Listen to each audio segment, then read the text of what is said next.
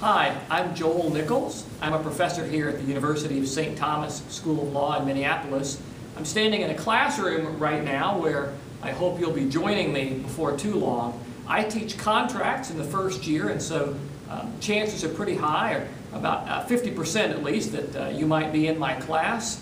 I apologize in advance for that. Uh, Professor Schultz is also great uh, with contracts, so that would be a lot of fun. Um, I've been at uh, St. Thomas for four years now. I used to teach at Pepperdine Law School in California. Um, I moved out here with my family in 2007. Um, my son Benjamin is uh, 12 years old, and I have a daughter also who is nine years old. They're a lot of fun. Uh, I really like being here at St. Thomas and in Minnesota in general.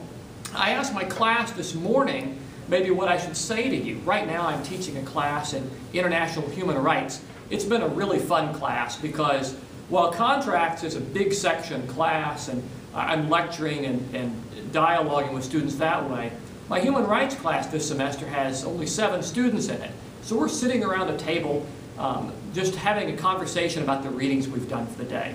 One of the things when I ask them about what I maybe should say is they said I should talk about that class. But they really like the atmosphere of being able to sit and know their professors better and to know their other students and to dig deeply into some issues um, with human rights or other matters in ways that maybe you can't otherwise. So that's one experience, and maybe it's another example of some of the, the distinctives at St. Thomas that we have in terms of focusing on our students.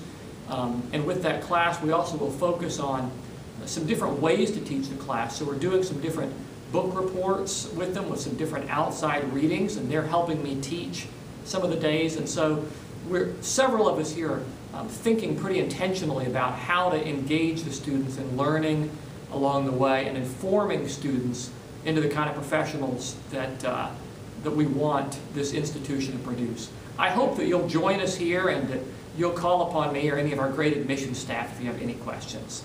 Thanks again.